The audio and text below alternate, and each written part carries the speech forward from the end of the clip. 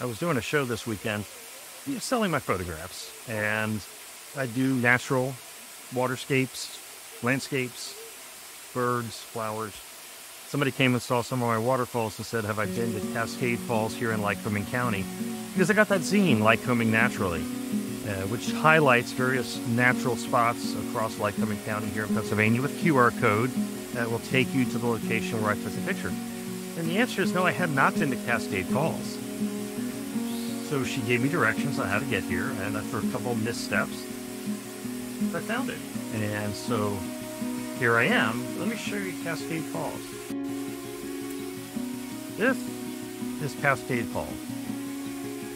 One person told me it's the largest waterfall here in Lycoming County. I'm not sure if that's actually the case or not. I mean, I've been to Jacoby Falls, so this is a beautiful spot. And it continues on down some additional drops in elevation. So given this, I decided to look for the composition that I like. And so here's what I found. This composition does what I want. It's got a nice foreground element of the tree leading me into the image. It's got the waterfalls bringing me down, and it's got some action here in the water.